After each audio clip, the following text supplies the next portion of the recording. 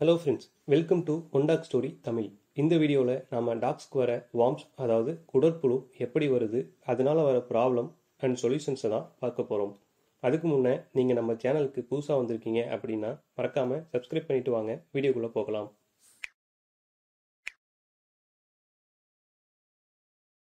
இந்த வார்ம்ஸ் பொதுவாக எல்லா உயிரினங்களையும் காமன் தான். எல்லா உயிரினங்களுக்கும் காமன்னு சொல்கிறீங்களே அப்போ ஹியூமன்ஸ்க்கும் டாக்ஸ் கிட்ட இருந்து ஸ்ப்ரெட் ஆக சான்சஸ் இருக்குமான்னு நீங்கள் யோசிக்கலாம். அதை பற்றி லாஸ்ட்டில் டிஸ்கஸ் பண்ணுவோம். காமனாக வெரைட்டிஸ் ஆஃப் வார்ம் ஸ்பீசிஸை பொறுத்து ஈஸியாக ட்ரீட் பண்ணலாம். வார்ம்ஸை ஃபோர் டைப்ஸாக பிரிக்கிறாங்க. அது என்ன அப்படின்னா round worm hook worm whip worm and tape worm அதாவது உருண்டை புழு கொக்கி புழு சாட்டை புழு மற்றும் நாடா புழுன்னு வகைப்படுத்தலாம். இந்த வார்ம்ஸ் டாக்ஸோட பாடியில் ஸ்மால் இன்டெஸ்டைனில் தான் முதல்ல வாழ ஆரம்பிக்கும்.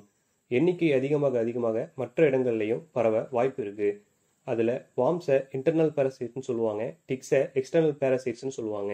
இவங்க ரெண்டு பேரும் சிவியரானாலே நம்ம பெட்ஸோட லைஃப்க்கே ஆபத்தாக வர வாய்ப்பு இருக்குது உங்களுக்கு ஒரு வேளை டிக்ஸை பற்றி தெரிஞ்சுக்கணும் இல்லை டிக்ஸ் வராமல் எப்படி அவாய்ட் பண்ணுறதுன்னு டவுட்ஸ் இருந்தால் மேலே ஐ பட்டனில் கிளிக் பண்ணி தெரிஞ்சுக்கோங்க. இந்த வார்ம்ஸ் பப்பீஸ்க்கு மதர் டாகோட கர்ப்பப்பையில் இருக்கிறப்ப பரவலாம் இல்லைனா பால் குடிக்கிறப்ப மதர் டாக்கோட மேமரி கிளான்ஸ் வழியாக பரவலாம். ஜென்ரலாக பப்பீஸ் அண்ட் அடல்ட் டாக்ஸ்க்கு கொசு கடிக்கிறதுனாலையோ இல்லை ஃபுட்டில் ஈக்கள் உட்கார்றதுனாலையோ மண்ணு திங்கிறதுனாலையோ வரத்துக்கு சான்சஸ் அதிகம். முடிஞ்ச அளவு பப்பீஸோட vaccination and deworming cycles complete ஆகிற வரைக்கும் மண்ணுலையோ இல்லை அன்ஹைஜினிக்கான ஏரியாஸ்லையோ விடாமல் இருந்தாலே பாதி பிரச்சனை தவிர்க்கலாம். ஏன்னா அடல்ட் டாக்ஸோட ஸ்டூல் வழியாக அந்த வார்ம்ஸோட எக்ஸ் மண்ணில் ஸ்ப்ரெட் ஆகி இருக்கும். அப்படி ஸ்ப்ரெட் ஆன இடத்துல இருக்க மண்ணை மற்ற டாக்ஸோ பப்பிஸோ தின்னு விளையாடுறப்போ அந்த மண்ணில் இருக்க எக்ஸ் வழியா வார்ம்ஸ் பரவும். இந்த வார்ம்ஸ் இருக்கப்போ நீங்கள் உங்கள் டாக்ஸ்க்கு எந்த மாதிரி ஃபுட்ஸ் கொடுத்தாலும் அதோட முழு சத்தும் டாக்ஸ்க்கு போகிறதில்ல சில ட்ரை ஃபுட்ஸ் கொடுப்பீங்க சிலர் raw meat chicken or chicken rice கொடுப்பீங்க. அதில் சிலர் ஃபுட்ஸோட சேர்த்து மல்டி விட்டமின்ஸும் கொடுப்பீங்க. ஆனால் அதிலிருந்து உங்கள் டாக்ஸ் வளருதோ இல்லையோ வார்ம்ஸ் நல்லாவே வளரும். ஈஸியாக நாம் நம்ம பெட்ஸ்க்கு வார்ம்ஸ் இருக்கான்னு கண்டுபிடிச்சிடலாம். அதோட சிம்டம்ஸ்லாம் பார்த்தீங்க அப்படின்னா சில டாக் தரையில் உட்காந்து ஆனஸ்னு சொல்லக்கூடிய ஆசனவாய் பகுதியை தேய்ச்சிக்கிட்டே இருக்கும். வேறு சில டாக்ஸ் சும்மா சும்மா அரிச்சுக்கிட்டே இருக்கும். அப்போது ஸ்கின் கோட்லேயே கூட உங்களுக்கு சில சேஞ்சஸ் தெரியவும் வாய்ப்பு இருக்குது பொதுவாக டாக்ஸ் இந்த மாதிரி அரிச்சிக்கிறதுனால ஸ்கின்ல நிறையா ப்ராப்ளம்ஸ் வரும். இன்னும் சில கேசஸில் பாட் வெளி மாதிரி வரவும் வாய்ப்பு இருக்குது அதாவது வயிறு மட்டும் உப்பி போய் ரெண்டு பக்கமும் பல்ஜாகி இருக்கும். நார்மலாக ஒபிஸ் இல்லாத டாகோட வயிற்று பகுதி பார்த்தீங்க அப்படின்னா ஃப்ளாட்டாக இருக்கும்.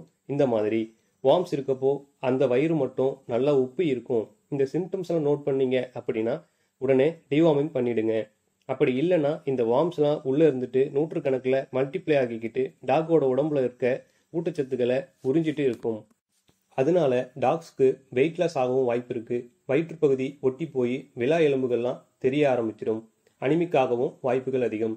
ஜென்ரலாக நீங்கள் இந்த மாதிரி பாதிக்கப்பட்ட நிறையா ஸ்ட்ரே டாக்ஸை ஸ்ட்ரீட்டில் பார்த்துருப்பீங்க. இந்த வார்ம்ஸ் சம்டைம்ஸ் பப்பீஸோட வாமிட்லேயோ இல்லை மோஷன்லேயோ கூட வரலாம்.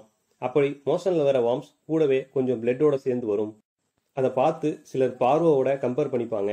பார்வோ இருக்க டாக்ஸோட சிம்டம்ஸ் இல்லை பார்வோ வைரஸ் பற்றி உங்களுக்கு தெரியாது அப்படின்னா மேலே ஐ பட்டனை கிளிக் பண்ணி பார்த்து தெரிஞ்சுக்கோங்க. இந்த வார்ம்ஸை கண்ட்ரோல் பண்ணுறதுக்கு இருக்க ஒரே சொல்யூஷன் டிவார்மிங் தான். அதாவது குடற்புழு நீக்கம். நம்மளோட பெட்ஸோட ஏஜ் அண்ட் வெயிட்டை பொறுத்து டிவார்மிங் ஷெடியூல்ஸ் அண்ட் குவான்டிட்டி மாறும்.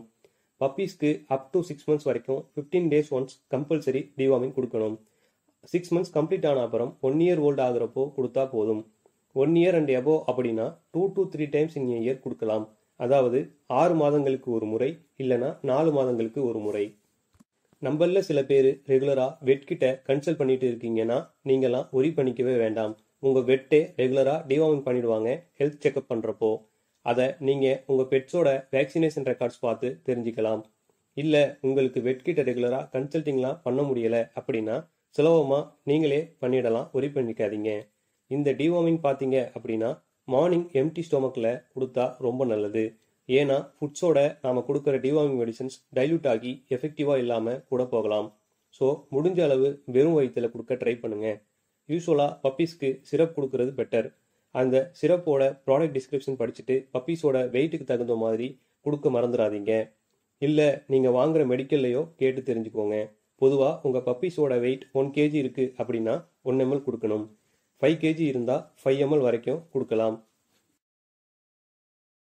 அடல்ட் டாக்ஸ்க்கு முடிஞ்ச அளவுக்கு டேப்லெட் யூஸ் பண்ண பாருங்கள் ஏன்னா டேப்லெட் தான் எஃபிஷியண்ட்டாக இருக்கும். ஒருவேளை ஒன்று ரெண்டு டேப்லெட் தான் வாங்குறீங்கன்னா மெடிக்கலில் யூசேஜ் கேட்டு தெரிஞ்சுக்கோங்க. உதாரணத்துக்கு உங்கள் அடல்ட் டாக் டென் கேஜி அப்படின்னா ஒரு டேப்லெட் தேவைப்படும். ஃபிஃப்டி கேஜி அப்படின்னா அஞ்சு டேப்லெட் தேவைப்படும்.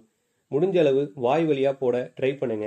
உங்கள் டாக் டேப்லெட் சாப்பிடாது வேற வழி இல்லை அப்படின்னா பவுடர் பண்ணி டாகோட ஃபேவரட் ஃபுட்டில் மிக்ஸ் பண்ணி கொடுத்துருங்க. பட் இதில் முக்கியமாக கவனிக்க வேண்டிய விஷயம் என்ன அப்படின்னா மெடிசின்ஸோட பிராண்டை மட்டும் இல்லை கெமிக்கல் கண்டென்ட்டையும் பார்த்து யூஸ் பண்ணுங்கள் ஏன்னா ஒரு ஒரு டைப் ஆஃப் ஃபார்ம்ஸ்க்கும் ஒரு ஒரு கெமிக்கல் கண்டென்ட் ரொம்பவே எஃபெக்டிவாக இருக்கும். ஃபார் எக்ஸாம்பிள் யுருபேக்கில் வர ஐவர்மெக்டின் நீங்கள் யூஸ் பண்ணுறீங்க அப்படின்னா நெக்ஸ்ட் டைம் எண்டோபானோட அல்பண்டசோல் யூஸ் பண்ணுங்க. அதுக்கு நெக்ஸ்ட் டைம் ஸ்கொய்வாம் கிவோப் இல்லை ஈசிபெட்டோட பிராசிக்வொன்டால்னு வர மருந்தை யூஸ் பண்ணுங்க. இதெல்லாம் விட முக்கியமான விஷயம் ஓவர் டோஸ் ஆகாமல் பார்த்துக்கோங்க இல்லை அப்படின்னா டாக் சிவியர் கோமா ஸ்டேஜ் கூட போக வாய்ப்புகள் அதிகம். ஹியூமன்ஸ்க்கு பரவுறதை பற்றி இப்போ பார்க்கலாம். அப்படி டாக்ஸ் கிட்ட இருந்து ஹியூமன்ஸ்க்கு பரவ வாய்ப்பு நிறையாவே இருக்கு. அப்படி வந்துட்டா ஸ்கின்னுக்கு கீழே புழு இந்த மாதிரி கோடு கோடா இருக்கும். ஸ்கின்னுக்கு கீழே மட்டும் இல்லை நாம ஃபுட் வழியா ஸ்ப்ரெட் ஆகவும் சான்சஸ் இருக்கு. ஸோ நம்ம டாக்ஸ்க்கு ஸ்ட்ரிக்டா டிவாமிங் சைக்கிளை ஃபாலோ பண்ணீங்க அப்படின்னா இந்த பிரச்சனைகளை தவிர்க்கலாம். ஓகே ஃப்ரெண்ட்ஸ் இந்த வீடியோ உங்களுக்கு பயனுள்ளதா அமைந்திருக்கும்னு நம்புறேன். இதே போலவே மற்றும் பல கால்நடை தகவல்களை எளிய முறையில் தெரிந்து கொள்ள ப்ளீஸ் சப்ஸ்கிரைப் ஒன்டாக் ஸ்டோரி சேனல் ஆல்சோ வீடியோ தங்களுக்கு பிடித்திருந்தால் ப்ளீஸ் லைக் மற்றும் உங்களுடைய நண்பர்களும் பயன்பெறும் வகையில் ஷேர் செய்யவும். மேலும் உங்களுக்கு தேவையான தகவல்களோ அல்லது இந்த வீடியோ பற்றின உங்களுடைய அபிப்பிராயங்களையோ கமெண்ட் பாக்ஸில் பதிவு பண்ணுங்க. மீண்டும் ஒரு சிறந்த பதிவில் சந்திப்போம். நன்றி வணக்கம்.